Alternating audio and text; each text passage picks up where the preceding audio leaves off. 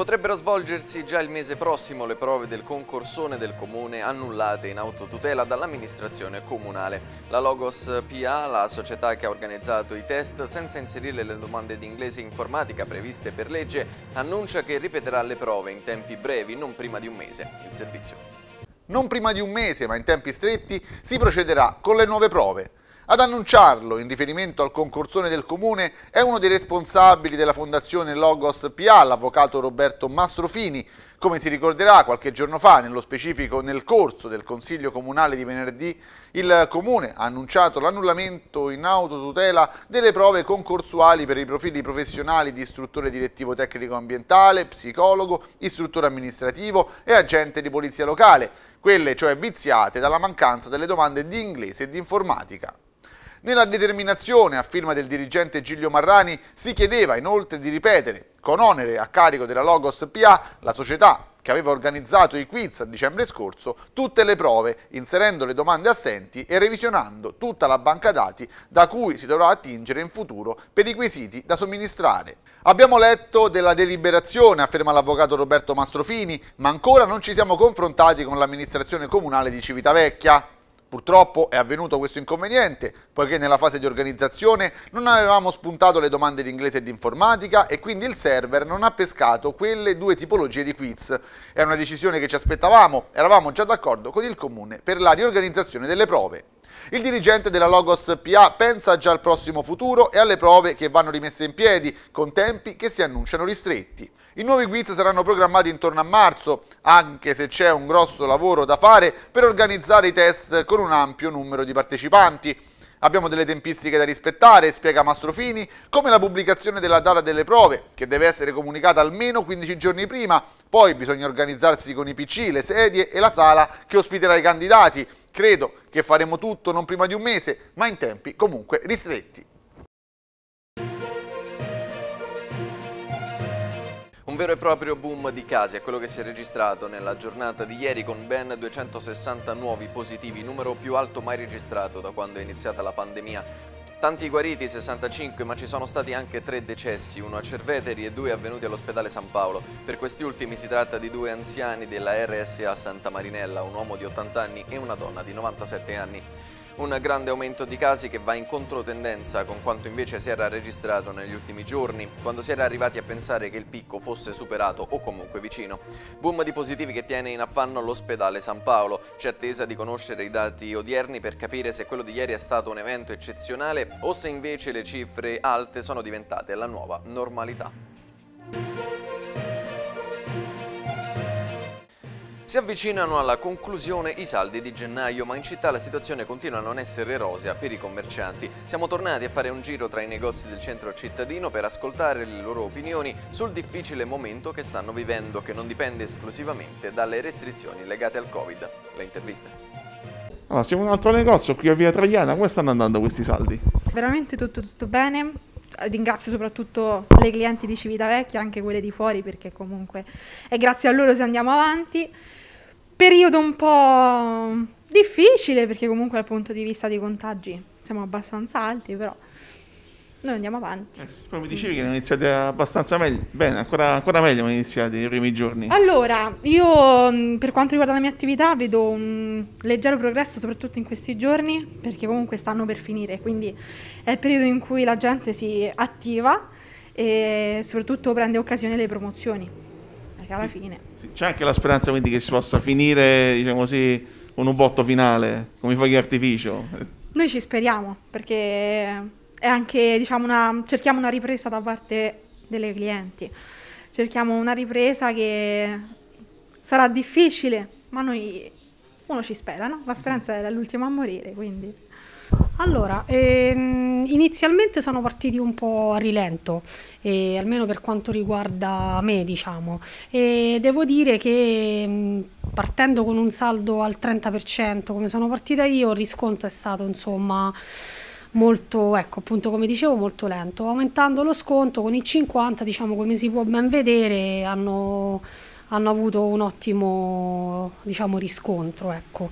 quindi al momento abbastanza bene. Quindi ci può essere anche la speranza che si vada ancora in crescendo, che magari negli ultimi giorni le persone si vogliano affrettare e vengano a fare acquisti. Diciamo che secondo me ha dato più l'idea che maggiore è lo sconto più c'è la possibilità che il cliente acquisti. Ecco, secondo me è più una questione eh, di soldi che di ecco, quarantene o cose varie.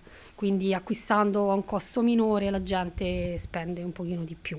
Diciamo tutto sommato non ci lamentiamo e anche che stanno causa Covid, causa diciamo tutte queste cose così e forse potevano andare meglio, però come ripeto non ci lamentiamo.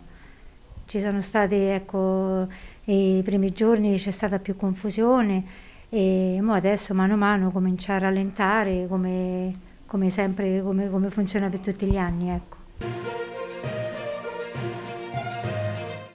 Tornano i tori e le mucche sulla strada delle Molacce, in particolare i grossi animali sono risaliti dal tratto franato 12 anni fa e mai riparato e solo di recente inserito nel piano triennale delle opere. Come si vede dai video i bovini camminano tranquillamente sulla strada al centro della carreggiata, anche perché a protezione del tratto asfaltato ci sono solo piccoli legni e filo.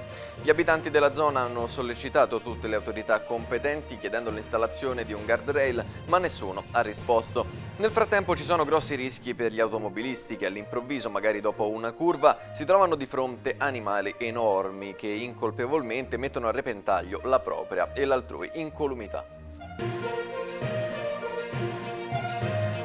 È stato presentato alla Fondazione Cariciv il nuovo bollettino della Società Storica Civitavecchiese, oggetto dell'opera un Atlante illustrato dedicato ai Monti della Tolfa che è stato realizzato da Glauco Stracci ed Enrico Ciancarini in collaborazione con la Fondazione Cariciv. Si tratta di un libro dedicato alle bellezze del territorio con l'obiettivo di farle conoscere a tutti, in particolar modo ai turisti. Ascoltiamo le interviste. Gabriella Sarracco ha presentato un Atlante riguardante i Monti della Tolfa anche nel ricordo di Edoardo Toti.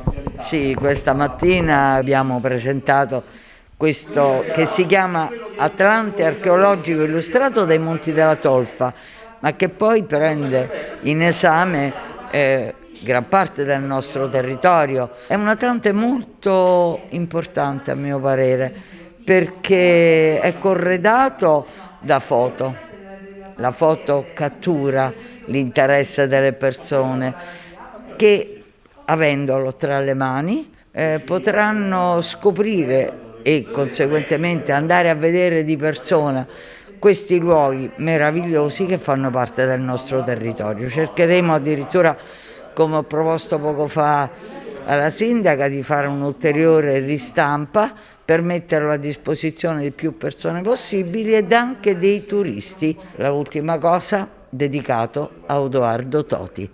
Ci teneva molto.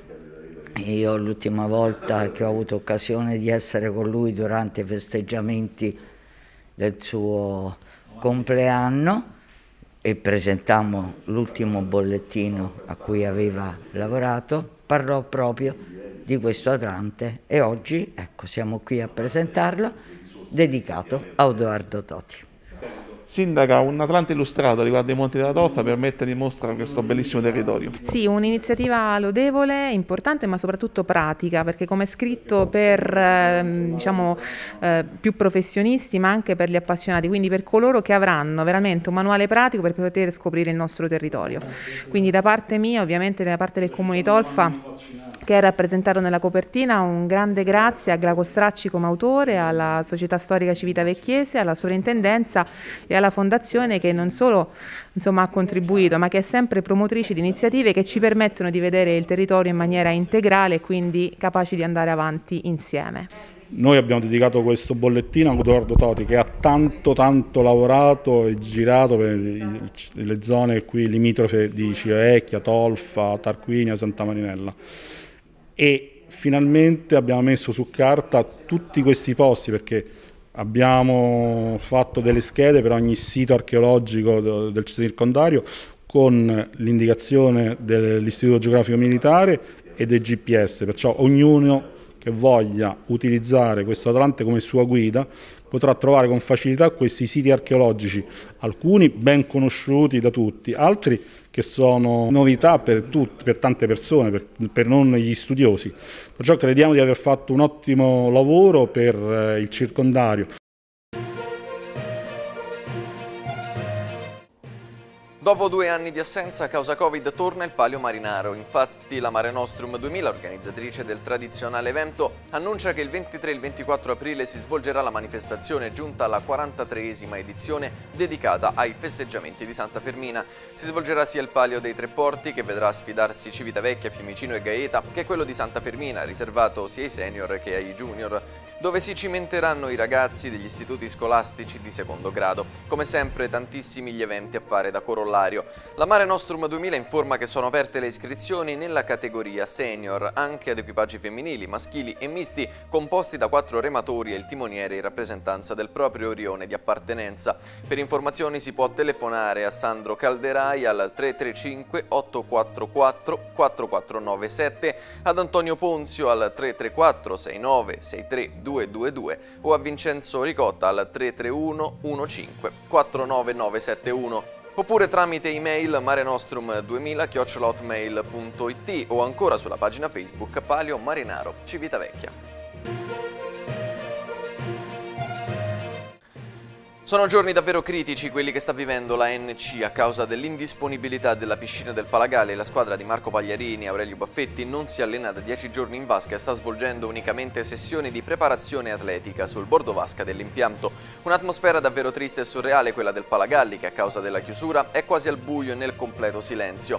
Si attende di capire cosa succederà per il futuro dello stadio che avrebbe dovuto riaprire questa settimana ma che evidentemente dovrà ancora attendere. La portata dell'acqua nella piscina è stata ridotta del della metà e si attende una fornitura di acqua calda da Enel per poter velocizzare le operazioni di ripresa delle attività.